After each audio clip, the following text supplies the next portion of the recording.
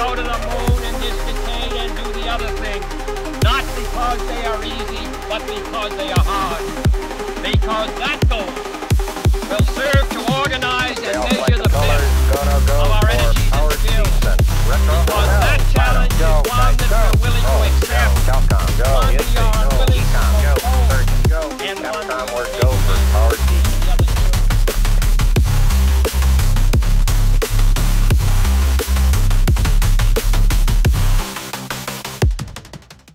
Everybody. As stated, I am Nathaniel Pettis.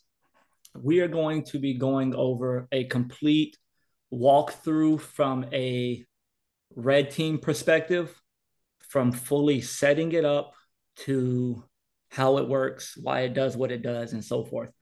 Uh, this will be a follow along. So if I am going a little too fast, let me know.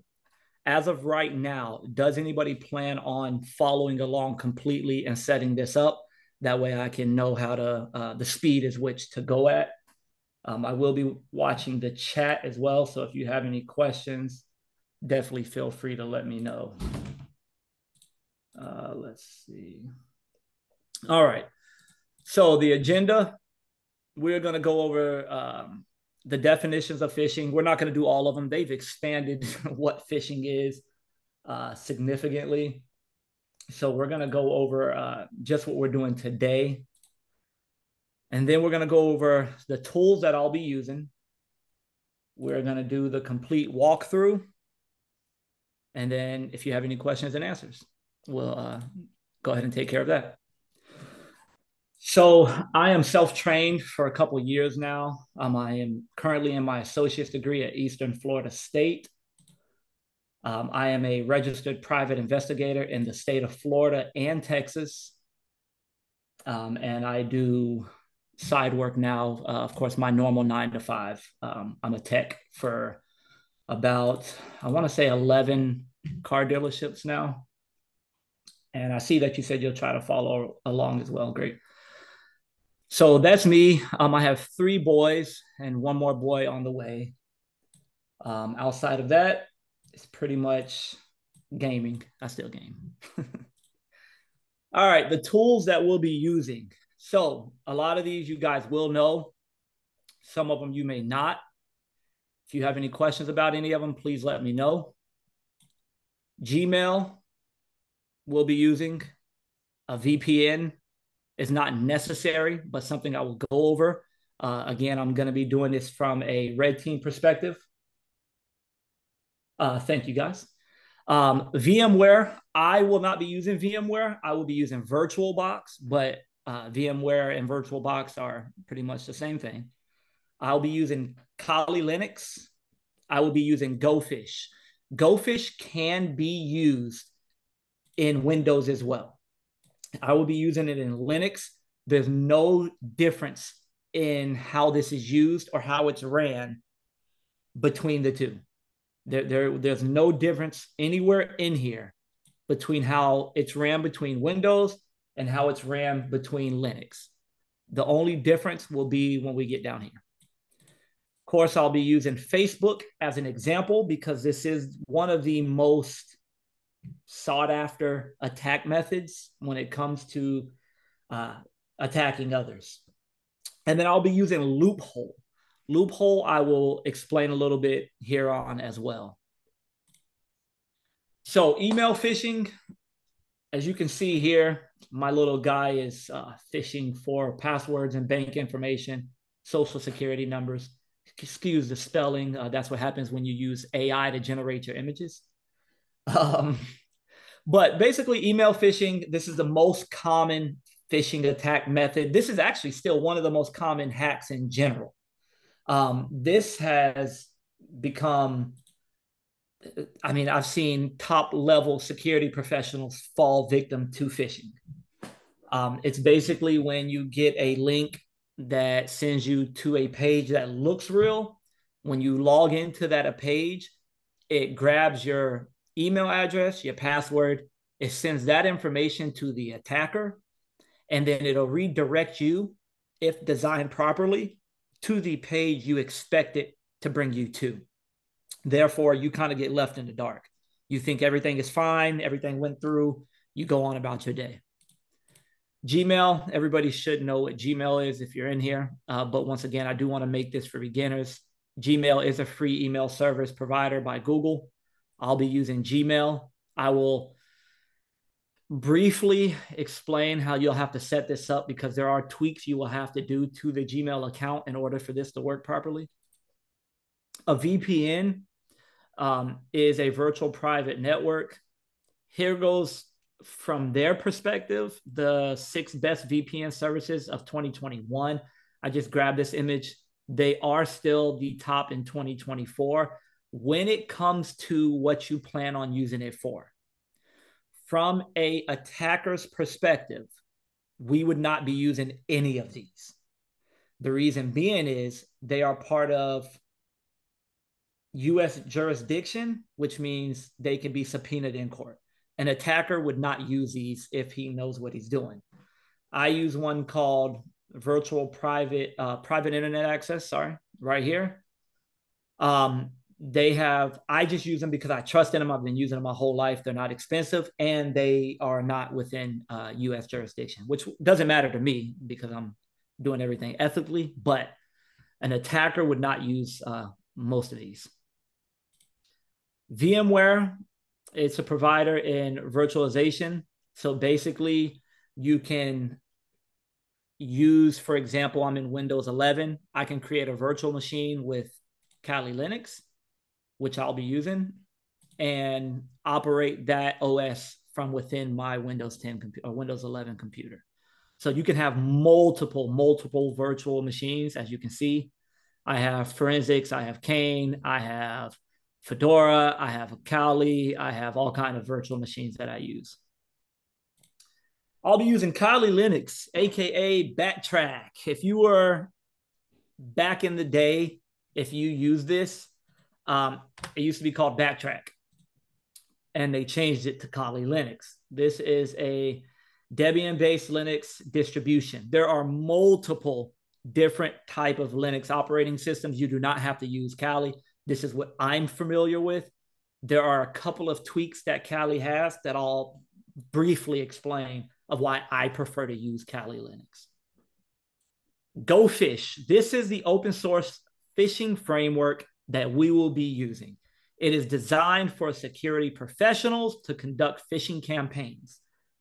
The benefit to GoFish is the fact that Gmail and other providers, other computers, other software, hardware, whatever it may be, does not recognize this as a threat.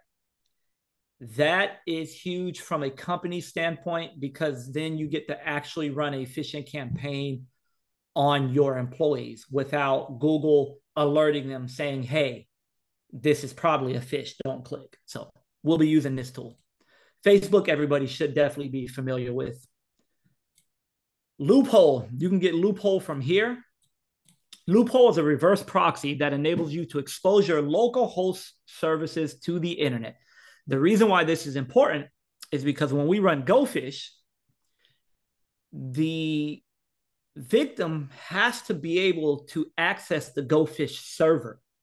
This is why I'm using Linux because of loophole. I understand how to do this in a Linux environment, not in Windows. Although loophole is available for Windows as well, I'm not familiar with it. So that's why I'll be using Linux today. Later on today, we'll have questions and answers after this. Definitely feel uh, free to uh, Ask me any questions you want. Doesn't either and does not keep. Correct. Proton VPN. I was actually going to go over as well. I use VP uh, private internet access on my desktop, but my laptop does have Proton VPN. I love Proton VPN and their email structure as well. But later on, if you guys have questions and answers, uh, we'll go over that as well. So let's go ahead and get into it. oh, my crocodile. All right, so I will be using Kali Linux. You can go to, let me see if Google blocks me real quick. Yes, it does. So another good thing of um, Proton VPN is Google doesn't mess with it like this, um, whereas Google does stop you with other VPNs. So we'll be using DuckDuckGo.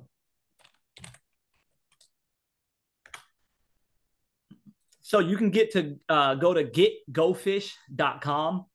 You would hit download. And if you're using Linux, you can download the Linux version. If you're using Windows, you can download the zip version. Again, there's no difference between the two. So go ahead and download those. One of the benefits of Kali that I prefer is the color coordination. I've messed with a lot of other Linux distribution and they didn't color coordinate. And I love the color coordination, and there'll be a couple of reasons why I show you as well. So what I'm doing right now is navigating to the GoFish folder. As you can see, GoFish here is in green. That means I can run it in Python. That means it's active. The, um, the permissions have been changed to allow access to this, whereas the others are gray. That's one of the reasons why I love Kali. I'm going to go ahead and split this. You'll see why here in a second. So we're going to go ahead and start GoFish first.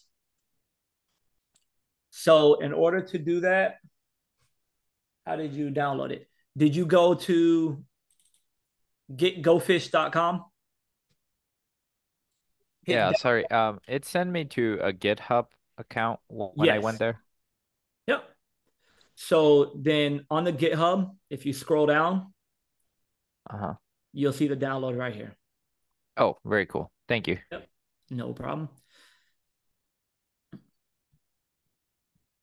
And then it should tell you a little bit. Yeah, definitely read up. I love GitHub. If you guys never been to GitHub, go to GitHubs. All right. so we're here with GoFish. You will need Python installed. Kali Linux should have that already installed if you dot forward slash go it'll start running it for you. When you first start GoFish, they've changed a little bit about it now. Your admin password will be in here. It will say very clear admin password. You will need to copy that password. Your username is admin. Mine doesn't show it because I've already established the password. There's valuable information in here. The admin server is here. I'm going to go ahead and rerun it with it being larger so you can see it better. The admin server is here. That's very important. And then the phishing server is here. This is what the other person, when they click the link, needs access to, which I am hosting it locally. You can host this on things like Amazon AWS, um, DigitalOcean. You can host it live as well online. But once again, the more an attacker exposes themselves to online accounts, the more liable they are to being caught. So I am hosting this on my own computer because I don't want to put in a debit card, a credit card to Amazon AWS and then do something like this from a uh, attacker's perspective.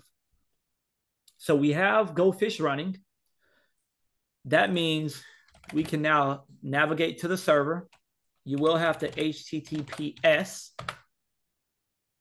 and it takes us to this. Now, what I do want to show you is everything that is happening here we can see happening on the GoFish server. So when I type in admin,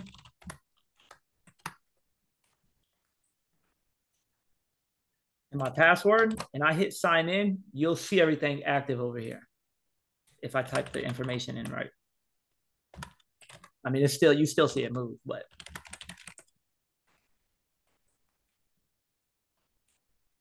There we go. Now here we are in the GoFish um, application. This is where it gets intense. So let me know if you have any questions. I'm going to go ahead and drop this down real quick so I can make this larger. I'm going to actually go ahead and full screen as well. My virtual box. All right. So we're actually not going to start here because this is not where you want to begin designing from. The webhooks, I won't get into. I don't use them often. The user management, this is just where if you want to change your password. Account settings, you can change your API keys and so forth. Okay, we'll start here. The send profile. This is what GoFish will use to send out our attack email. This, if this doesn't work, nothing works. This is the one of the main focuses. So we're going to go into here. This is my dummy email, my dummy name, but you will need a Gmail account. What has to be changed in the Gmail?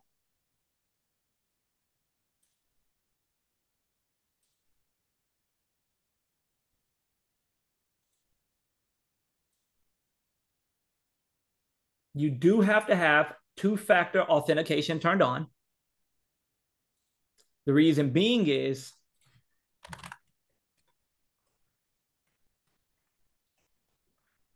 Gmail no longer allows third party apps to use Gmail's login credentials like they used to. This stopped about a year ago. So you have to have two factor authentication turned on. And then you need this the app password.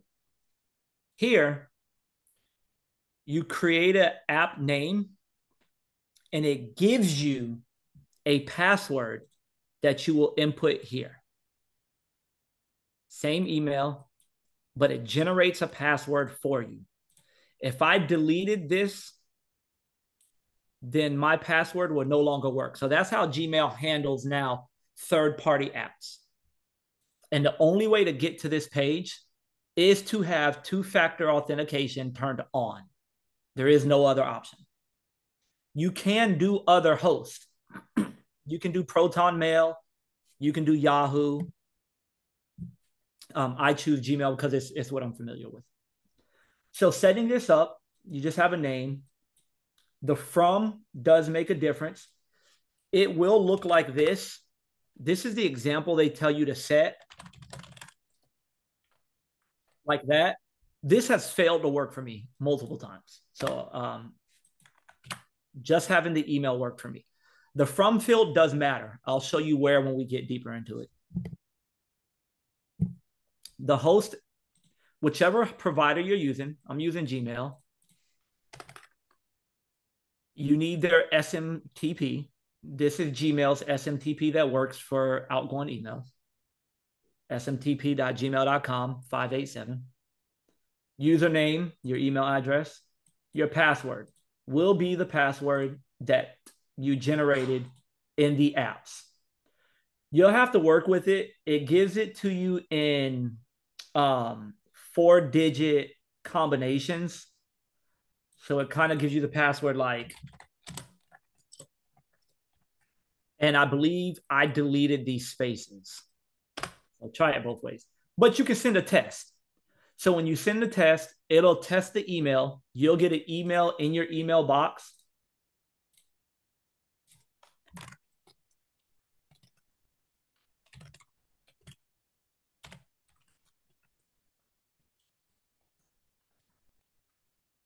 That it went through properly.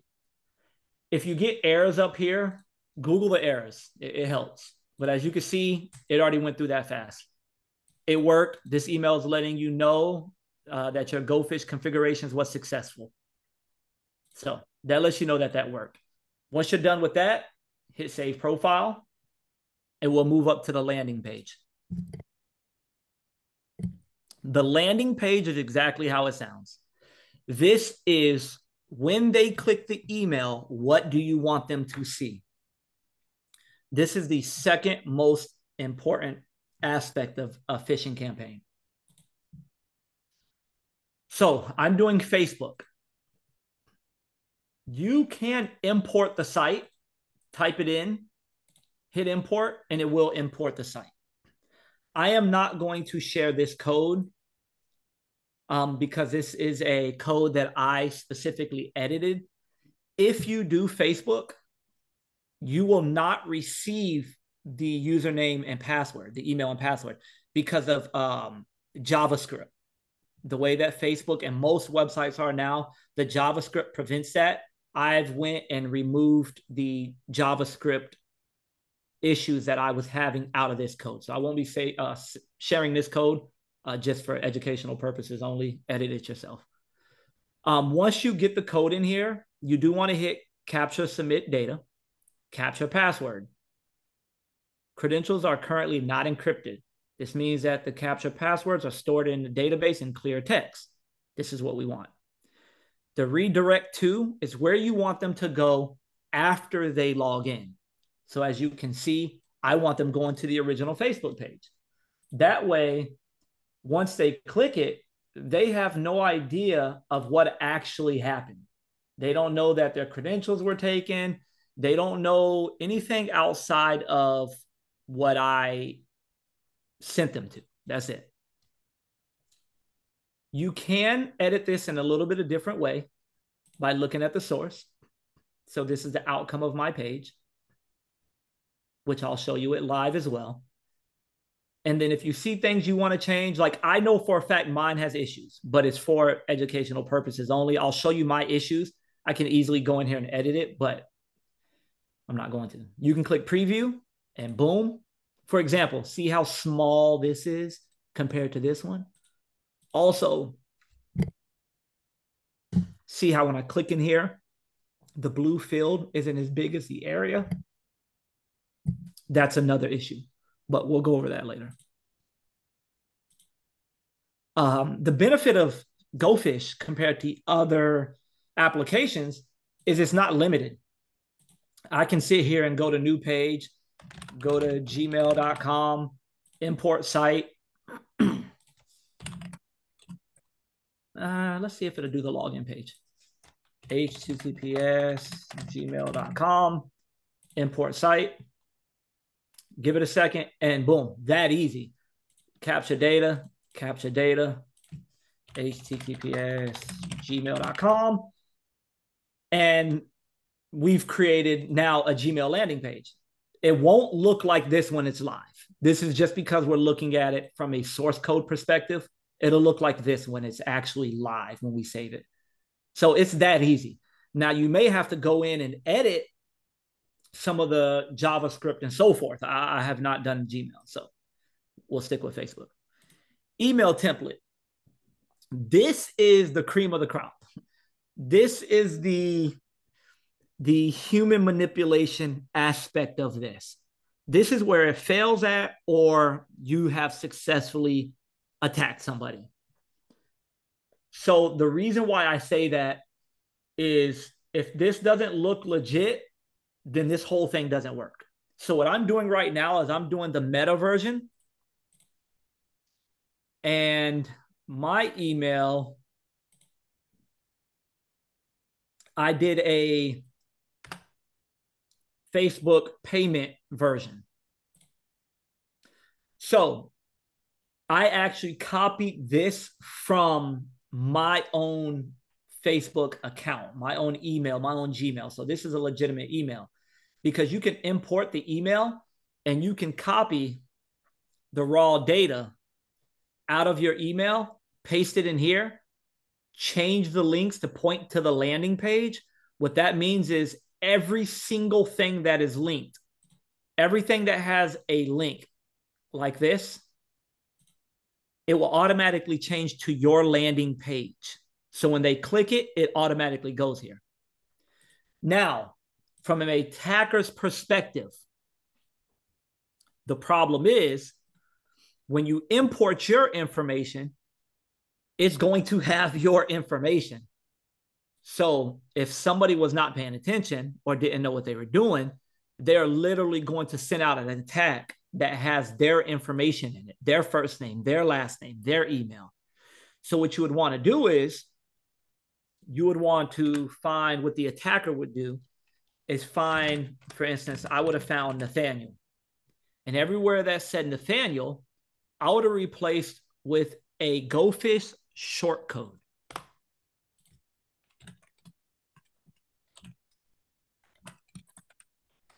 GoFish has a number of short codes that are used for their email reference. So, for instance, when we send out this email, this says hi, short code, first name. That means whoever's first name we create in this user group right here, which will be next, it will put in their first name and their last name. That's what makes this so huge from a corporation, a corporate perspective. You can literally do 200 employees, have the short code say first name and last name, and it will grab that employee's first name or last name and replace it in this email. That's what separates this from other attacks.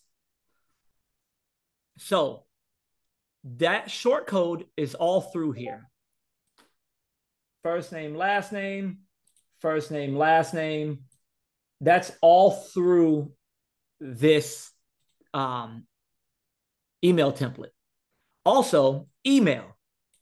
That means when this came out to me, it said my first name, last name, and then my email address. Since I replaced it with this email template or short code, sorry, it's the target's email.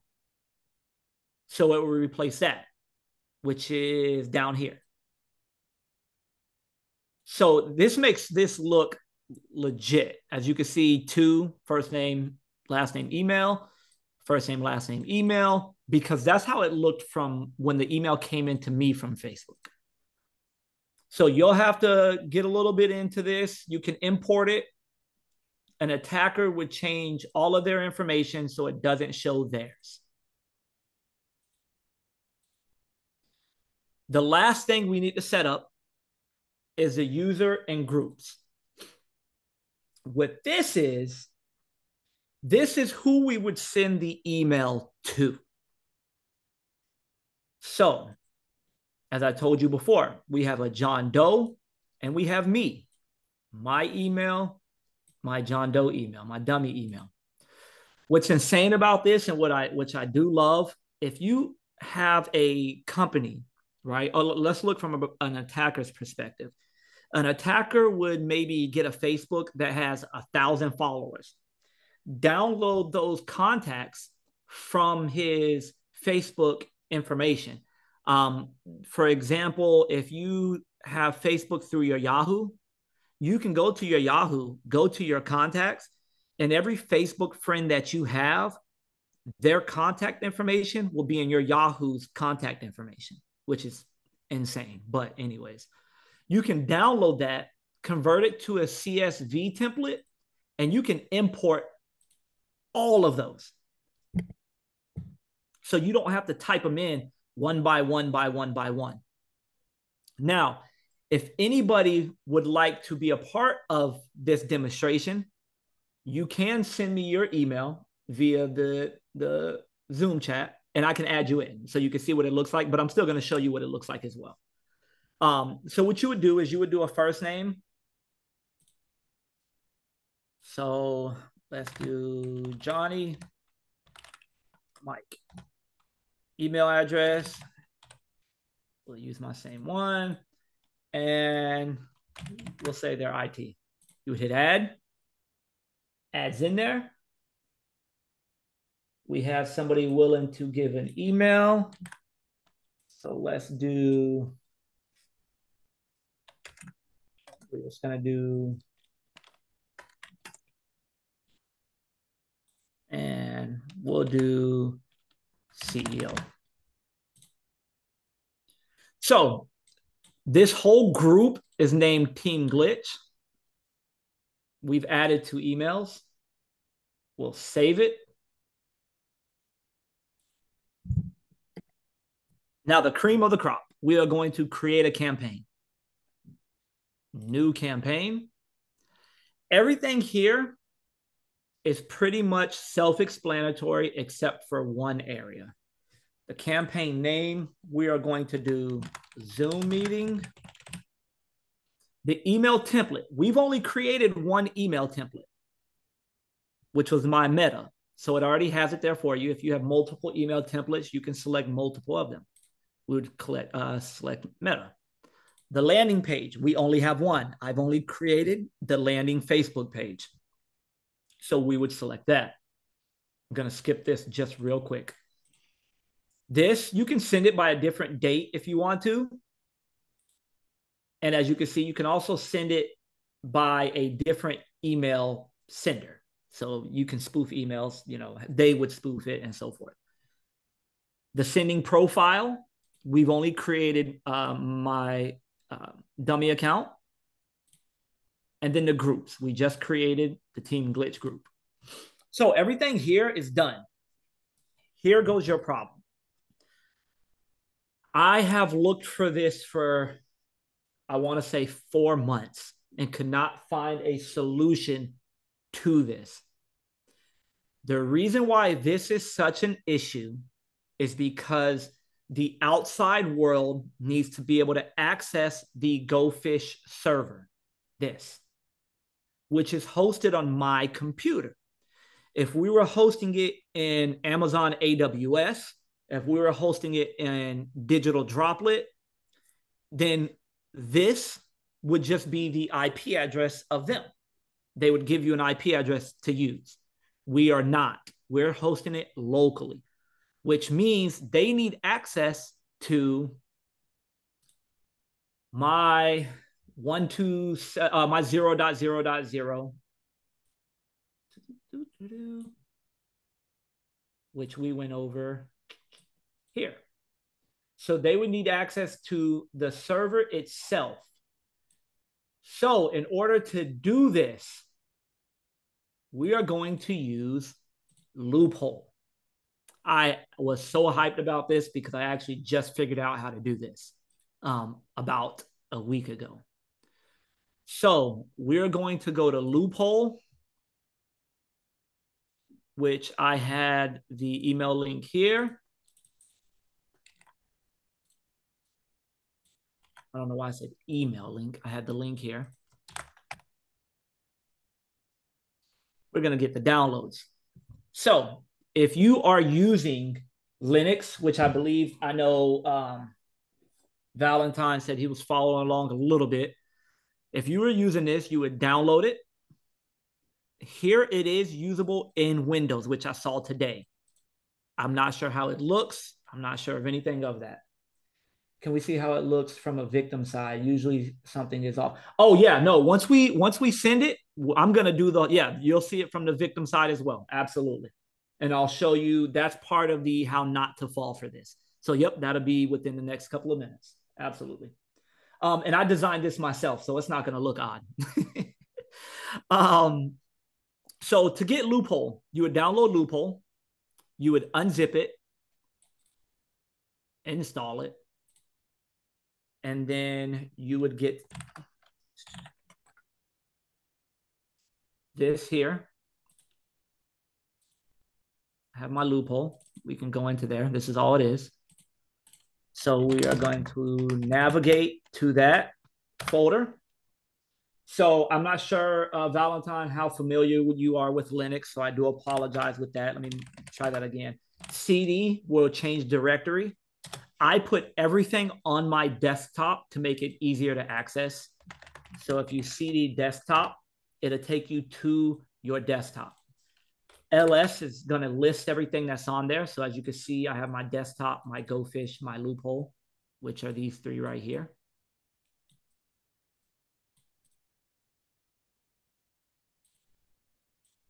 And then I am changing the directory into loophole. So I'm now in loophole. If I ls, you will see my loophole is green. When you first download it, it will be white. You would need to change the file permissions, which is C, uh, chmod plus X. And then you would just type in loophole, hit enter, and it will be green, giving you uh, basically change the permissions to access loophole. So now we will run loophole. Loophole, just like ngrok, needs the um, how you're going to run it. We're going to be running in HTTP. We're going to use port 80. And we're going to hit enter. The first time you run this, it will ask you to sign into your account. All you have to do is it will give you a link. You click the link, it'll take you to Loophole's website. It'll give you a six digit code, and all you do is put in that code and rerun the commands. As you can see, it's tunneling all of my information from the outside world now. So I need to go back up because I need this link. This link, as you can see, is pointing to my 127.0.0.1 port 80. So it's created a link that will bring the outside world to my home address 127 on port 80. So SMTP 587 is only for the email in itself. Sorry, guys, I got this question here. Correct. Yep. SMTP is just for the email, just for how you will be sending this email, not for how they will be accessing the GoFish server. So we took that link, we will paste it in the URL. So this is now giving the outside world access to 127.0.0.1 on port 80. We are now going to launch the campaign. Yes, we're sure. Campaign scheduled. So as you can see, it's sending to both of these profiles. This will update saying email has been sent. Let's go ahead and drop this down so you guys can see. We can refresh it if we want. And as you can see, the email's already come through. Boom. Um, Valentine, let me know if you got the email as well. It has been sent. so that concludes from the attacker's perspective. So now we're going to switch and we're going to look at this from a victim. The victim got an email. As you can see, there are a couple things that you can change. The me part. The reason why this says me is because Gmail recognizes, yep, that I'm sending sending profile from this email address. Therefore, it says me. So it won't say that when you're not sending it to yourself. You have all the information here of the email. Hi, Johnny. Remember, because we said that this person here, name was Johnny, Johnny Mike. We've told the landing page to, um, I'm sorry, the email template to fill in first name, last name.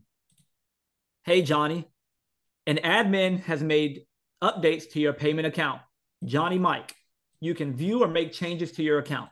So this is the benefit of changing those links. Every single link navigates back to the exact same thing, even if they kick unsubscribe. So let's go ahead and say, oh my God, I, I didn't do this. We need to we need to go in and check on this. There you go. so somebody asked, Valentine asked, can we take a look at the normal Facebook compared to the one I've designed? Well, here you go, guys. There is no difference. Not that you're going to notice.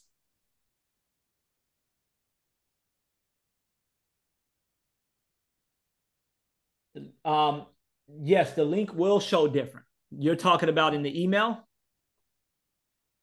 the link is going to show. I'm assuming you're referring to the fact that, and that's a good catch, actually. Very, very good attention to detail on that one. I'm assuming you're referring to when we ran this campaign, the link that I put in here looks different. Yeah, we'll, we'll go over that. Yep, we'll go, we'll go over that as well. There's a, there's a, definitely a reason for it. So we'll go over that. So as you can see, there is no difference that you would notice. So let's go ahead and continue on real quick, and then we'll go over the questions and answers. So let's type in the email address. Oh, and Valentine, feel free to do it and don't put in your real password. Okay.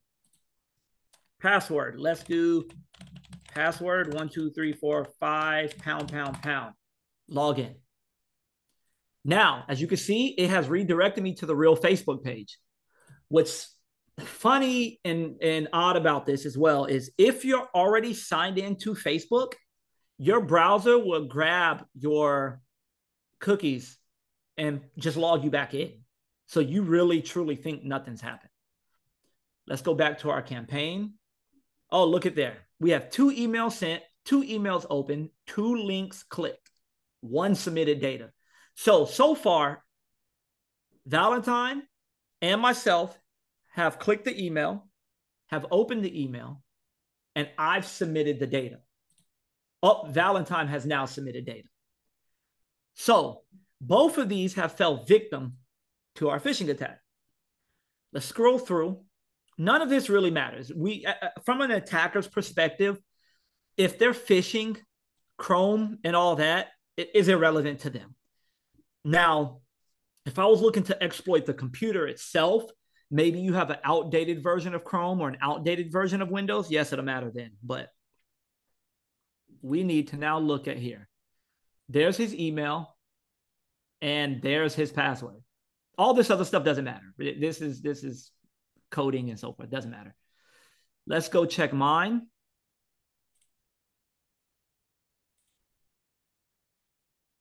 Email, password. Now, from an attack perspective, my goal is to get to Facebook, put in the email, put in a password, log in, have a dummy email ready, change the email, change the phone number, and now you no longer have access to your account. I have worked for a social media company that I can't say that I've worked for before, um, but it has a blue logo. Um, they don't care that your account got hacked. You have to take in within your own precautions to protect your own account. So now we're going to go over how to look for things. Take about five minutes, very easy. Things that everybody should look for when you're clicking links. First and foremost, hover. I tell everybody. Everybody always says, "Oh, well, look for the something that's spelt wrong. Look for something that doesn't look right." My website has nothing spelt wrong. Nothing. It looks exactly like Facebook. The only noticeable thing is this changes, and that's only because I'm using a different font. If I ran this font through Google, it would tell me the font. The other thing is that I noticed that I'm just now noticing this information is darker. It's darker. See my font, how Facebook's font is lighter? That's noticeable. Their field, my field is a little bit longer than theirs. That's most likely because of my font. That's easy with an HTML BR break. The biggest noticeable thing for me is when I type in Facebook, notice that their, when I click in here, their area stays gray, mine turns blue. I actually think that would be a benefit to me. People would probably think, oh, yeah, that's Facebook. Facebook is blue. The other noticeable thing that I was having a problem with and I didn't care to edit is when I click in password, notice it's the exact same um, area width. When you click mine, see how small this bracket is? That's nothing but a coding issue that I can go in and edit. So I just don't really care to do that. So, rule one hover. before you click. If you hover over your links down here at the bottom left hand corner, it'll tell you where it's going. As you can see, that's not taking me to Facebook. That's taking me to my loophole server. It's not going to Facebook. Rule number one hover. Rule number two look at the URL. Everybody always says look at the URL first. I don't believe that because the URL is Gmail right now. You can't see the URL once you click here.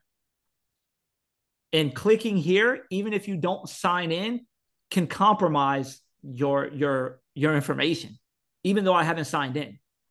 And if anybody cares, with once we have questions and answers, I can show you why and what I mean by that. So even navigating to this website and not clicking nothing has severely compromised me.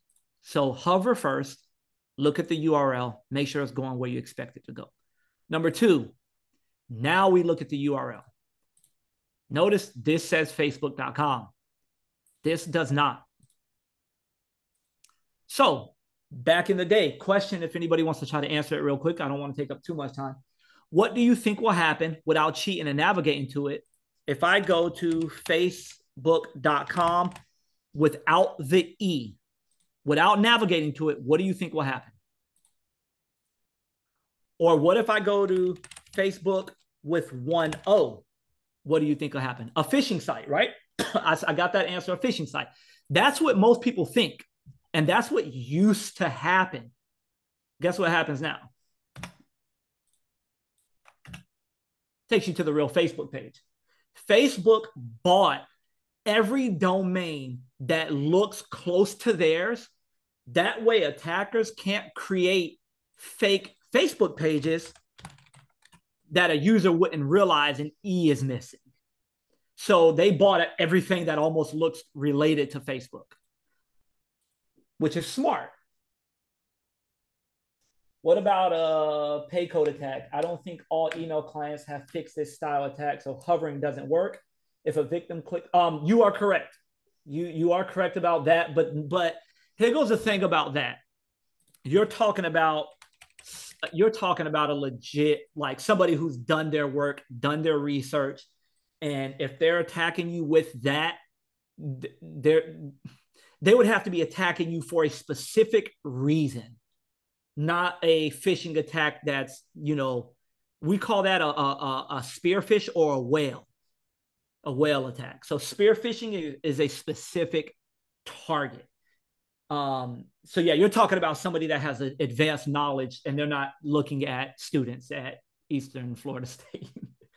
Question If a victim clicks the link and has a password manager such as Chrome that auto populates, will the fish still be able to pull info from the auto populated? That is a very good question. And I am not 100% sure. I think it would. I think it would because it's still in the password field.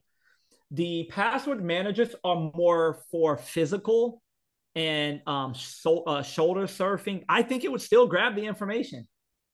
That is a very good question, though. Um, rule three: two-factor authentication, guys. I hate it.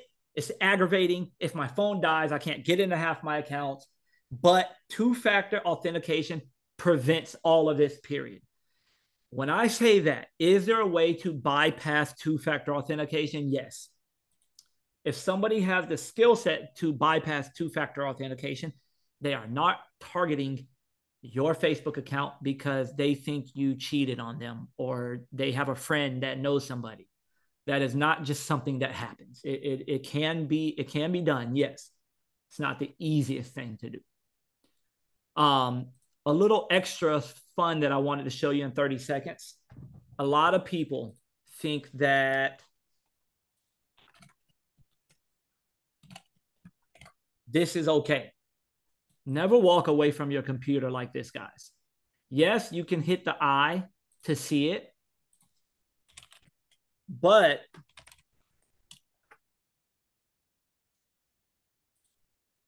This is just a part of fishing. It's the only reason why I'm going over it real quick. I don't even know if, let's do one of mine.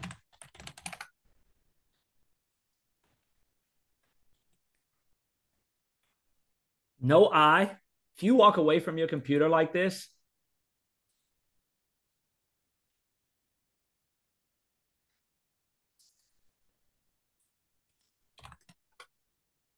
I can still see that password. So asterisk is not safe. That's just a part of phishing. I just wanted to point out as well. A lot of people are not aware of that. Even without the I, that password can be seen. so this is a complete walkthrough of phishing, how to prevent it, how to stop it the best you can. Um, yeah. If you have any questions, I am open to questions.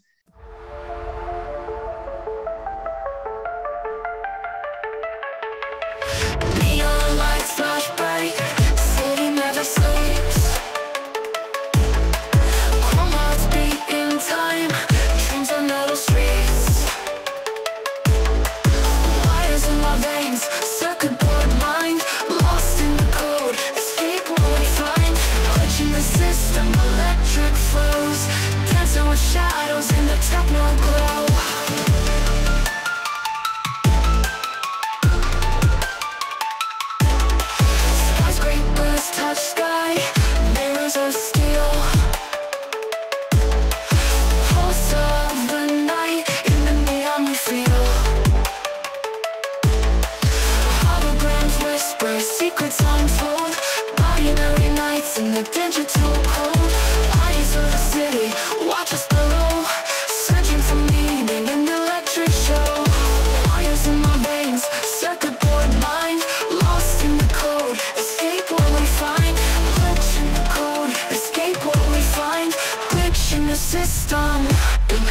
so close.